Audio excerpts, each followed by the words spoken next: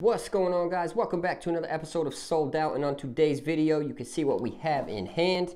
It is the Kawhi 2. I think it's the new money colorway. So with that being said, let's hop right into today's video. So guys, as you already know, I've already tested this shoe. I've tested this shoe actually a few times, maybe seven to 10 times I've been on the court with this sneaker and it actually kind of shocked me. So let's hop right into it and work our way from the top down to the bottom as we always do. So heel slip and comfort. I had no issues whatsoever with heel slip and comfort or heel lockdown. Great lockdown in the heel area and the padding was thin back here, but it was still very comfortable. So it's not like it's it's minimal, but it does a job. It, I had no issues with it whatsoever. Heel slipping comfort, heel lockdown was great. No complaints on that. Now down onto the tongue.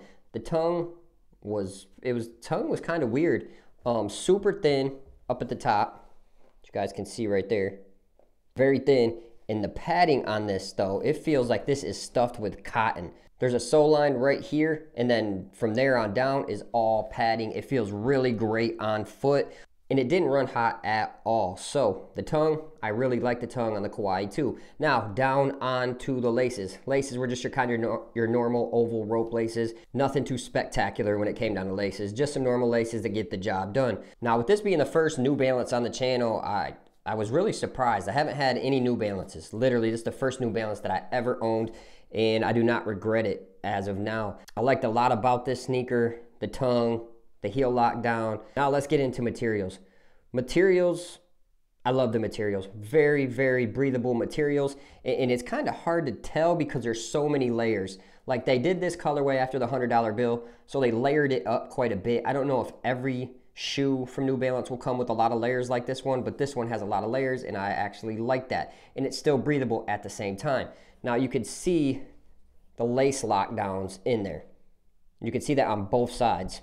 There's a very fine screen mesh over the padding on the New Balance Kawhi 2. And it was very breathable. I had no heat issues whatsoever in this sneaker. I actually enjoyed the materials on this sneaker and it does not make me regret buying my first New Balance sneaker. I absolutely enjoyed playing in it. I love how they did the toe box right there. They added that synthetic overlay right there just in case you have any toe drags, anything like that.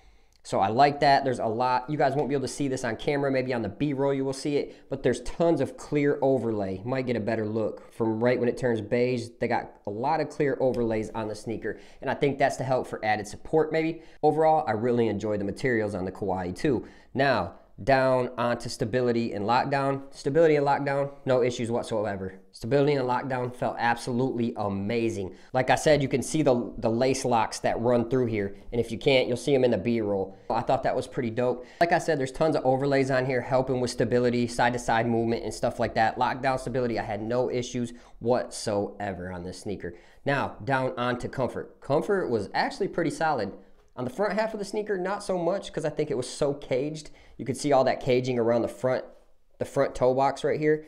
But the FuelCell right here, from here on back, I had no issues with that. So heel impact protection was very good. It's a FuelCell material that they use and it is very soft. I wouldn't say like Cushlon soft, but it's pretty soft. It's almost comparable to Cushlon, maybe I mean, it's close to the basketball React, how hard some of the React has been on some of the recent basketball shoes. So comfort overall, I got to give it to them on the comfort. The comfort didn't disappoint. It, it, feels very responsive in the front of the shoe to me. In the back half, feels like it's it's built for heel impact. So I think they did a good job on their way back to the front of the shoe, just kind of giving us what we want. We want to be able to launch quick, but when we land, we want a soft landing. So they kind of did that uh, here on the Kawhi 2. Down onto traction. Traction, I had no issues with traction whatsoever.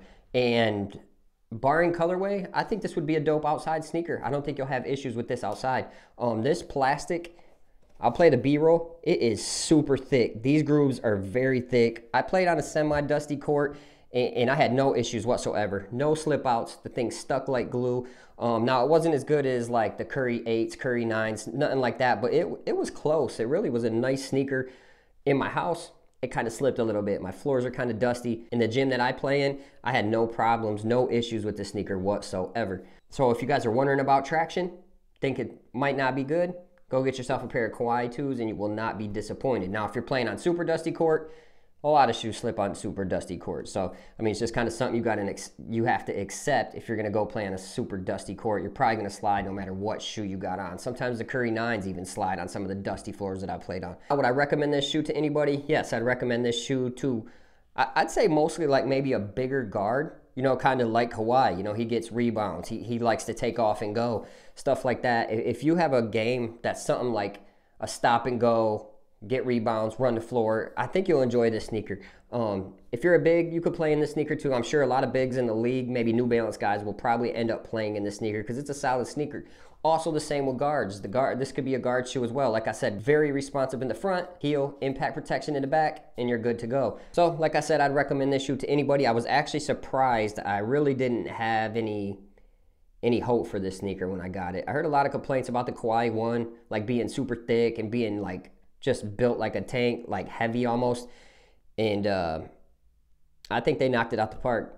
I have no issues. And I think the colorway, the aesthetic colorway on this, I think it's dope. The $100 bill they put with the blue tab on the back, I think they did a really good job mimicking the $100 bill. They got the declaration, all the all that kind of stuff wrote on it. Got a Kawhi signature right here. And then there's a bunch of like, I don't know, signs, moon, stars, lunar, all that kind of stuff down here. I'm not really sure what that means. I also heard that this right here is something to do with Kawhi's like fingerprints or the way he held the shoe.